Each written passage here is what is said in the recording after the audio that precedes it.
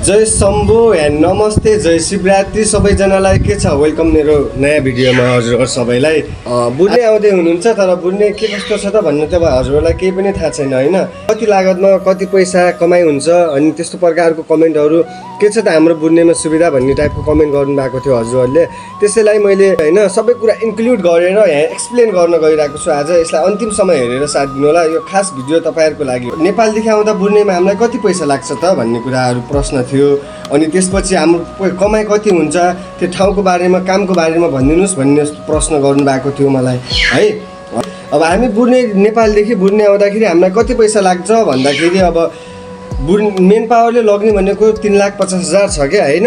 अब तिन लाख पचास हजार छ अब कसैले दुई लाख पचास हजार तिरेर आठ लाख रुपियाँ पनि तिरेर आएको छ अरे भन्ने सुनेको छु मेरै कम्पनीमा मेरै साथीहरू। त्यो त अब कसरी के हो अब त्यो तपाईँहरू मार्फत भर पर्ने हो त्यसले आफूले अब राम्रोसँग ध्यान गरेर बुझेर आउनु होला त्यो गर्दाखेरि। अनि अब यसमा कामहरू कति लाग्छ त काम के कस्तो पाइन्छ भन्दाखेरि काम तपाईँको त्यही हो। अब सबै प्रकारको कामहरू छ यहाँनिर। अब तपाईँको ड्राइभरदेखि लिए ड्राइभर छ होटेलमा वेटर छ होटेल लाइनमा सेफको छ अनि त्यसपछि क्लिनरको छ होइन? अनि सबै प्रकारको थुप्रै प्रकारको कामहरू छ यहाँनिर। तपाईँले कुन काममा एप्लाई गरेर आउनुहुन्छ त के यो ठाउँमा? अनि त्यसमा भर पर्ने हो कामको बारेमा। अनि स्यालेरी भन्नुहुन्छ भन्दाखेरि अनि स्यालेरी पनि त्यस्तै त्यस्तै हो तर यो ठाउँमा सबै यो सरकारले यहाँको तोकिदिएको रेट चाहिँ फिक्स स्यालेरी चाहिँ चार सय डलर छ है यहाँको बुढ्ने डलर चार सय डलर छ यहाँको यो भनेको नेपालको चार सय डलर। अहिले समटाइम्स कहिले कस्तो हुन्छ भन्दाखेरि यहाँको एक डलरको नेपालमा कहिले नाइन सौ हुन्छ कहिले सौ हुन्छ कहिले अनि त्यसमा अहिले कहिले नाइन्टी एट हुन्छ त्यस्तै त्यस्तै हुन्छ होइन। अब त्यही हो चार सौले गर्दाखेरि हाम्रो नेपालको त्यही चालिस हजार जति पुग्न पुग चालिस हजार नै हुन जान्छ यहाँको स्यालेरीहरू होइन। स्यालेरी त्यही चालिस हजार छ अब काम त्यही हो काम पनि त्यस्तै प्रकारको छ। अनि अरू मैले बटुलेको अनुभव भन्दाखेरि यहाँ अरू देश जस्तो छैन यो देशको अलिकति सबै कुराहरू सिस्टमेटिक छ होइन। तपाईँ मजाले फ्रिली इजिली जताततै पनि घुम्न सक्नुहुन्छ। तपाईँलाई कसैले यहाँ किन यस्तो गरिस् के गरिस् भनेर भन्दैन र जस्तो लुटपाट होला भन्ने त्यो मलेसिया जस्तो त्यस्तो छैन। यो देश फेरि मलेसियाको नजिकमै पनि छ है। मलेसियाको सिमाना अनि यो के अरे अनि त्यसपछि इन्डोनेसियाको सिमाना अनि चाइनाको त्यो बिचले समुद्रले घेरेको त्यस्तो प्रकारको देश हो यो है। खाना बस्न सुविधा पनि अब बस्नलाई कम्पनीले नै दिन्छ रुम होस्टेलहरू हुन्छ कम्पनी सेपरेट सेपरेट होस्टेलको हुन्छ। हाम्रो कम्पनीको कस्तो छ भन्दाखेरि नेपालीको छुट्टै सेपरेट होस्टेल छ केटीको छुट्टै सेपरेट होस्टेल छ अनि त्यसपछि इन्डोनेसिया फिलिपिन्स सबैको सेपरेट सेपरेट होस्टेल छ। त्यसमा लिमिटेड मान्छे राखिदिएको छ बिसजना बाइसजना पच्चिसजना मात्रै राखिदिएको छ। त्यस्तो प्रकारको छ मेरो कम्पनीमा। तर जुन हामीले नेपालदेखि दलालले हामीलाई भनेर पठाउँछ नि त्यो प्रकारको हुँदैन है। यो ठाउँमा दलालले हामीलाई भन्छ कि सत्तर अस्सी हजार कमाउला कमाउँछौ त्यो ठाउँमा गयो भनेपछि भन्ने कुराहरू उसले हामीलाई त्यहाँ भनेर आश देखाएको हुन्छ लोभ लालच देखाएको हुन्छ क्या त्यहाँनिर होइन?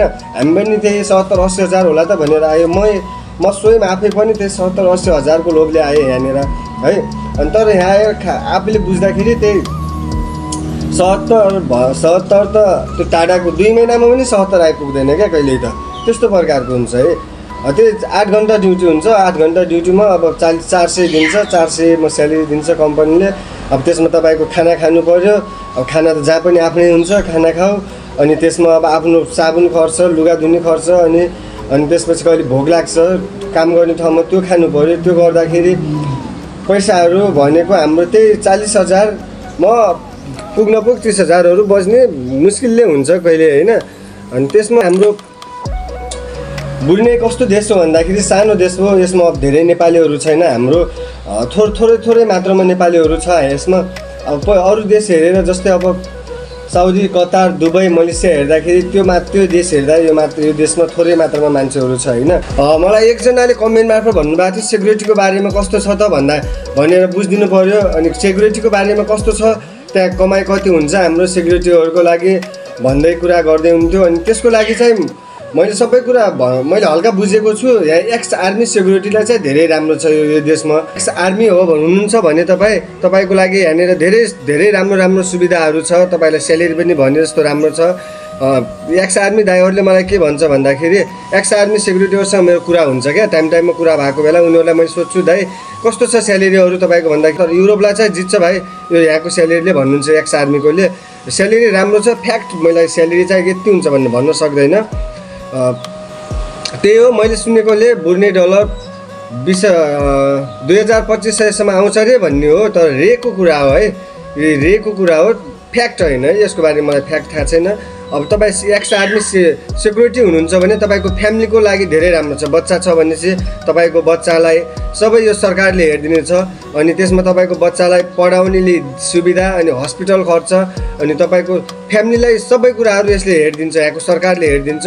एउटा कुरा चाहिँ त्यो धेरै राम्रो छ यो सेक्युरिटीमा आउनुहुन्छ भने यो देशमा आउनलाई एक्स आर्मी आउनुहोस् भन्छु म त होइन? एक्स आर्मीहरू रिटायर आर्मीहरू हुनुहुन्छ त्यस्तो आर्मीलाई यहाँनिर आउनुहोस् भनेर सजेस्ट गर्छु। कसरी भन्दा यसको यहाँनिर यो देशमा त्यो फ्याम त्यसको फ्यामिलीलाई राम्रो छ त्यो मान्छेलाई राम्रो छ स्यालेरी राम्रो छ त्यसको लागि यहाँको सुविधा त्यस्तै अनुसारको राम्रो छ होइन? अरूलाई चाहिँ हल्का कम नै छ क्या यो ठाउँमा मैले बुझेको अनुसारले होइन? मैले आफूले दुई वर्ष भयो अनुभव छ नि त मसँग हल्का होइन? मलाई दुई वर्षमा अनुभव कस्तो छ भन्दा मेरो कम्पनीको बारेमा बोलौँ भने त मैले धेरै कुराहरू बोल्नु छ मैले कम्पनीको बारे आफ्नो कम्पनीको बारेमा नबोलेर सबैलाई हेर्दाखेरि बुझेको कुराहरू। तर यहाँनिर चाहिँ मैले आफूले सजेस्ट गर्ने कुरा यहाँ यो देश आउनुभन्दा नआउनुहोस् भनेर सजेस्ट गर्छु होइन? यहाँ यो देशमा भन्ने टाइम पास हुनु जस्तै हो क्या यो देशमा हुनलाई। देश मात्रै राम्रो भएर देश मात्रै सुविधा भएर हो नि त हामीलाई त हामी हामी कामदारलाई सुविधा चाहिएको हामी कामदारलाई राम्रो भइजाओस् ताकि हाम्रो फ्युचरलाई राम्रो भइजाओस्। त्यो सोचेर आउँछ नि त हाम्रो नेपाली सबैहरू त होइन? त्यो त्यो प्रकारको सुविधा नभइदिए त हामीलाई नि गाह्रो पर्छ नि त भोलिका दिनमा। ल हाम्रो पैसा डुब्यो भन्ने प्रकारको हुन्छ होइन? सेवर डुब्छ क्या।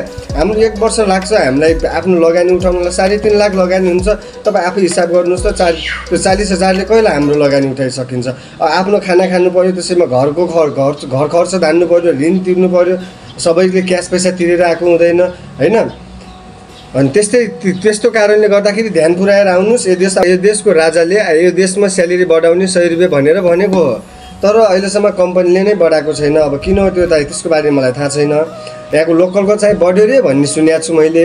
अब त सय रुपियाँ बढ्यो भने चाहिँ पाँच सय बेसिक स्यालेरी हुन्थ्यो। त्यसले हल्का हामीलाई केही हुने थियो। तर हाम्रो अहिलेसम्म स्यालेरी बढिरहेको छ। बढिरहेको छैन अनि महँगो भन्नुहुन्छ भने सबै कुराहरू धेरैभन्दा धेरै महँगो छ। महँगीले गर्दाखेरि हामीलाई कहाँ गएर मरम भन्ने जस्तो हुन्छ क्या। होइन? अब खानु पनि पर्यो लाउनु पनि पर्यो होइन? अब त्यसमा आफ्नो रहर इच्छाहरू पनि पुरा गर्नु पर्यो। अब घरतिर पनि पठाउनु पर्यो। त्यो गर्दाखेरि ल हातमा त अब पैसै बजिँदैन होइन? अब त्यस्तो प्रकारको हुन्छ यो ठाउँमा होइन? तर खटाइ धेरै छ होइन? अब सबै ठाउँमा हो कि अब यो देश मात्रै हो कि खटाइ चाहिँ अब तपाईँको आठ घन्टाको ड्युटी छ भने चाहिँ तपाईँलाई बाह्र घन्टा खटिनुपर्छ। बाह्र घन्टाको ड्युटी छ भनेपछि अब तपाईँको सत्र अठार घन्टा खटिनुपर्छ होइन? त्यसमा पनि बाह्र घन्टाको ड्युटी पाउनुलाई अहिले हाम हाम्रो यतातिर मुस्किलै छ। बाह्र घन्टाको ड्युटी दिँदैन। बाह्र घन्टाको ड्युटी दिए पनि तपाईँको भने जस्तो हुँदैन। त्यसमा अहिले डबल सिफ्ट गराइदिन्छ। अनि पैसा कमाउन धेरै गाह्रो भइसकेको छ यो ठाउँमा। आउने पुस्तालाई मैले त यही भन्छु यो देशमा आउँदै हुनुहुन्छ राम्रोसँग बुझेर आउनुहोस् कुन कम्पनीमा आउँदै हुन्छ स्यालेरी कति छ कति पैसा लगिरहेको छ मलाई कमेन्ट गर्नु होला त्यसको बारेमा मैले यहाँदेखि बुझेर म तपाईँहरूलाई भिडियो मार्फत बताउने छु।